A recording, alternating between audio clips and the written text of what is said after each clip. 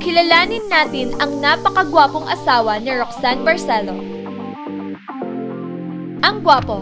Ito nga ang napakaraming komento ng mga netizens nang sa unang pagkakataon matapos ngang literal ng isinapubliko ni Roxanne Barcelo ang itsura ng kanyang foreign husband. Matatandaan na nasurpresa ang lahat nang ibinahagi ng aktres na si Roxanne Barcelo sa kanyang social media account na siya ay nagpakasal na. Ito nga ay matapos niyang mag-post ng mga larawan na kuha sa kanyang naging pagpapakasal. Nang mga panahon na yon ay naging agaw pansin naman ang hindi pagpapakita ni Roxanne ng itsura ng kanyang napangasawa dahil kung hindi man nakatalikod ito sa larawan na ibinahagi ng aktres ay naka-blurred naman ang mukha nito sa larawan. Sa post naman noon ng aktres ay kanyang ibinahagi na kaya hindi niya ipinapakita ang itsura ng asawa ay dahil nire-respeto niya ang pagiging pribado nito.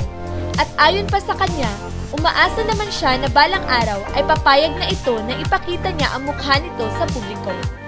May mga pagkakataon pa nga na kasama nila sa mga family photos si Papa Panda, ngunit hindi pa rin nga ipinapakita ni Roxanne ang mukha nito.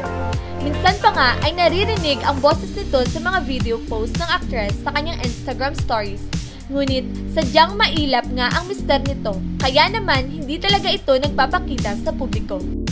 Tila naman ngayon ay pinagbigyan na si Roxanne ng kanyang mister sapagkat noon lamang nakaraang ika-22 ng Disyembre noong nakaraang taon ay ni-reveal na nga ng aktres ang itsura ng kanyang napangasawa na ipinakilala nga niyang si Jigs.